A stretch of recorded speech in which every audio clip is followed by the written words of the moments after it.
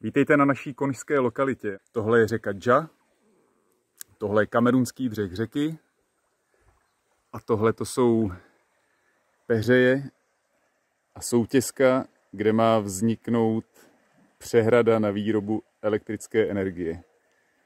Upřímně doufám, že se to nikdy nestane, protože lesy tady okolo jsou plné slonů, goril, šimpanzů a je to tady, je to tady prostě úžasný. Ahoj.